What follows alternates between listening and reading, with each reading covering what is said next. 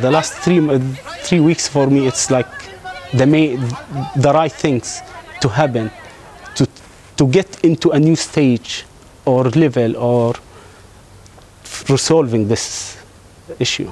At least, like I'm sure we are not going to resolve it in this few days, but this will remind again everyone that we still exist and we have demand and we have rights, and this need to be applied on us. A lot of people has been shot, killed, injured, but this is like it's become part of our daily life. So if you don't sacrifice your time at least, then you will not go anywhere. With all the clashes happening today and yesterday and the week before in Palestine, all this demonstration against the Israeli, it's showing that how much we are now united and how much we are really like putting one main goal. Israel, des del, seu de, des del seu punt de vista securitari, ha intentat, amb la creació del mur, amb la creació, amb la mantenint els checkpoints, tot això hi va intentar una, una resolució del conflicte absolutament securitària sense intentar resoldre de fons, el conflicte de fons, que justament el que està passant és el que va passar a Sud-àfrica als anys 60-70, quan Sud-àfrica va decidir crear els bantustans. És crear diferents zones on, on crear una autonomia més aviat de eh, policia palestina controlant els propis palestins, que no una veritable sobirania, perquè són justament zones on no hi ha quasi ni recursos agraris, ni recursos aquífers, ni, recurs, ni cap tipus de recurs eh, mineral o de qualsevol tipus. I aquestes són les zones A que van quedar sota autoritat palestina. I a més, a més, una de les coses que a Israel sempre li ha interessat és dividir entre Gaza, Cisjordània, Jerusalem, els palestins del 48 e inclús dins de Cisjordània, eh, entre els dos grans bantustans, que serien per una banda al sud Hebron Halil eh, Bethlehem i al nord Ramallah Nablus Jenin. Like demolishing their houses, confiscating their land, arresting or killing. This is not something like pushing the people to run away out of Palestine. No, it's pushing people like to stay because from experience, like we don't want to repeat the Nakba again. So this, I think, the only thing that Israel couldn't really take off the Palestinian, which is the existence. Perquè som molt conscients que en realitat la resistència més important és el fet de cada dia mantenir-te com a societat a passar de la situació que estan visquent, de tots els checkpoints, de l'ocupació, de que et vinguin a les 5 del matí i et treguin els nens i te'ls detinguin i, i, i no sàpigues què passarà. Pues a passar de tot això, aixecar-te cada dia i intentar portar una vida normal, això és la resistència. Vosotros, sionistas, the last few days in Palestine, it's like the word, it's for the people, not for the politicians. So, like, mo most Palestinians now, they don't have any faith in all this political uh, movement. So now they are taking over, like, at least for the last three weeks, it's the people who is speaking, not any political movement or even not a liberation movement. Tant l'estratègia fata oficial de negociar no ha arribat enlloc. I per altra banda, la de Hamas d'intentar mantenir Gaza com a lloc de resistència després de tres guerres aniquiladores com les ha patit, més el setge brutal que està patint Gaza, eh, la, la major part de la població a Gaza no està veient que això de moment els, sigui, són conscients de que mantenen la resistència, però que això avanci cap a alguna cosa millor no.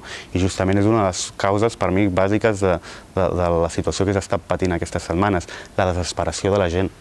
Amb això haurem de veure fins a quin punt han afectat o no la revolució, la, el que es parla de les revoltes àrabs o revolucions àrabs, justament per la mancança de lideratge dins de Fatah dins de les organitzacions de l'esquerra palestina i fins i tot dins de Hamas i l'islamisme més fort dins de Palestina. Llavors, aquesta mancança de lideratge i l'enfrontament entre Fatah i Hamas ha fet que aquesta nova gent, tots aquests joves que estan sortint, no se senten completament identificats ni amb Hamas ni amb Fatah. L'estabellament de les últimes setmanes justament són els fills d'Oslo. Són la generació que està lluitant en aquests moments als carrers a, a Cisjordània, però també a dins d'Israel. Aquests xavals que estan avui sortint carrer són tots nascuts després d'Oslo. Well, for me, Oslo Agreement like died before even born. as soon as we sign as a Palestinian on this agreement, that means we sign on our death. We lost more houses, we lost more land, we get surrounded by a wall. We like we still Israel is still like exiling people from their houses. They still like applying all this violation or practicing all this violation against the citizens. In Oslo, you, ca- you are not allowed even to build your own economic.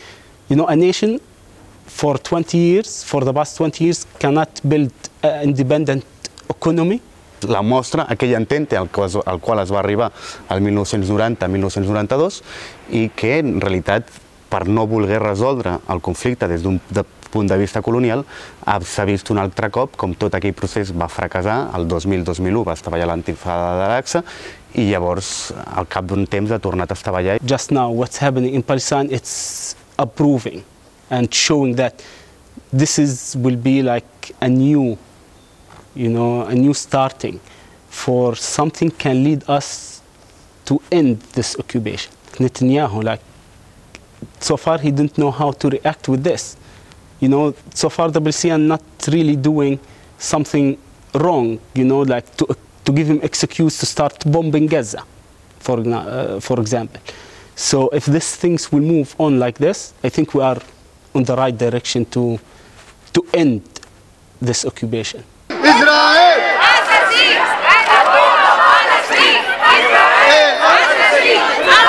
Libertad por la pueblo palestí!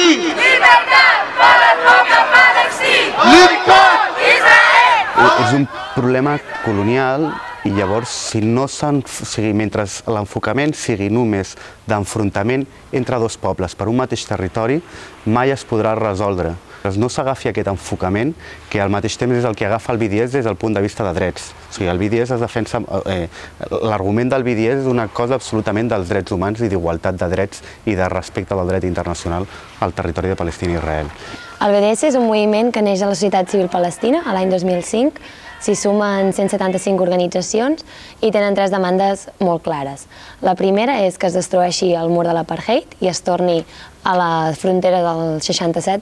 Bé, torni és un, una, és un dir perquè no, no s'hi ha estat mai, de fet, a les fronteres del 67. El segon és que es doni el total respecte als drets de la ciutadania àrab que viu dins de Palestina, perquè deixin de ser una ciutadania de, de segona i passin a tenir els mateixos drets que la ciutadania israeliana. I la tercera és que es respectin, es, es protegeixin i es promoguin els drets de les refugiades palestines que estan arreu del món i que es promogui, igual que la, com diu la resolució 194 de la ONU, que puguin tornar a les seves cases i propietats a, a la Palestina.